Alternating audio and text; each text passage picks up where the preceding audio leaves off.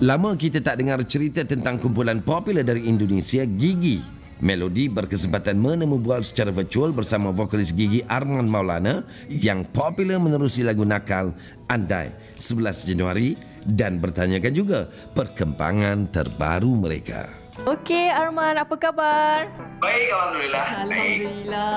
Nak tanya juga apa khabar dari seberang? Bagaimana keadaan industri hiburan di sana? Pastinya kita tahu kan, musim-musim pandemik ni banyak yang tertunda, tertangguh. Sama dengan seluruh negara di dunia ya. Semuanya banyak yang tertangguh, begitupun juga di Indonesia. Tapi manusia kan diciptakan oleh Allah Subhanahu wa taala untuk bisa beradaptasi ya. Bisa virtual, terus juga sekarang kan sudah ada YouTube channel, media sosial yang lain ya. Kita memang harus kreatif ya bagaimana caranya di dalam pandemi ini tidak boleh stuck. Alhamdulillah masih berjalan sih. Alhamdulillah. Jadi ramai mengenali Arman seorang vokalis gigi dan ramai juga peminat tahunya Arman kini dah bergerak secara kiranya projek solo lebih kurang dalam lima tahun ini. Jadi mungkin Arman boleh kongsikan apabila ada projek solo dengan gigi bagaimana? Masih lagi ke tak ke? Masih masih gigi dan solo project saya berjalan seiringan. Karena memang dilihat dari segi musiknya juga kan memang berbeza ya antara gigi dan solo project saya. Jadi ya, Alhamdulillah sampai detik ini Gigi sudah berjalan 27 tahun, proyek solo saya sudah berjalan 5 tahun.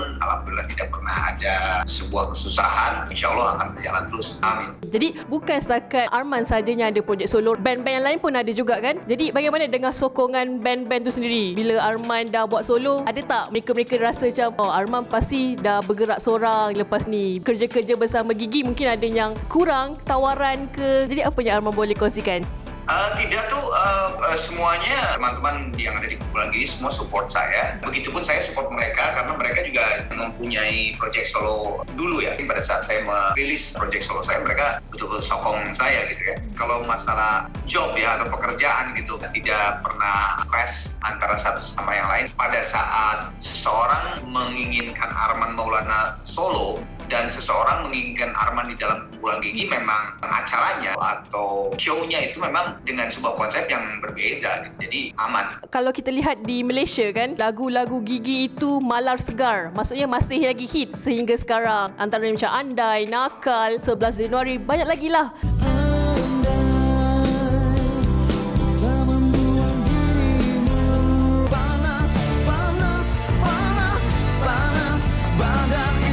Jadi apa yang Arman boleh katakan walaupun sudah 27 tahun kalian tapi masih lagi malas segar sehingga sekarang? Saya bisa mengucapkan Alhamdulillah karena saya dan kumpulan gigi pada saat menciptakan karya ini tidak pernah berpikir bahwa lagu ini harus apa tadi bahasanya Malaysia segar apa? Malas segar. Segar.